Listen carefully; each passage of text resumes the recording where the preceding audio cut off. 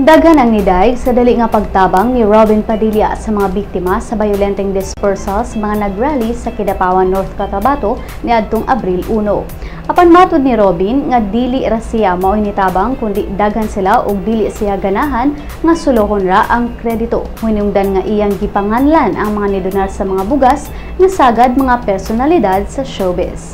Iya kunong gitawagan ang iyang mga higala sa telepono ug gipangayuan og panapang samtang padung siya sa Kidapawan ni adtong Sabado, Abril 2 ug wala magduha-duha ang gipangayon niya ug bugas.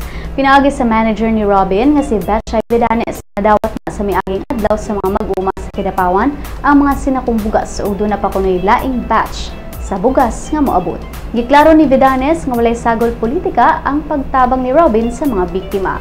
Demanda sa mga mag-uuma ang pagpagawa sa 15,000 ka mga sako sa bugas apan gipaarakan sila sa armas sa mga pulis nga suway miguba sa ilang protesta diin mi banosab sa pagpanglabay og bato ang mga mag-uuma.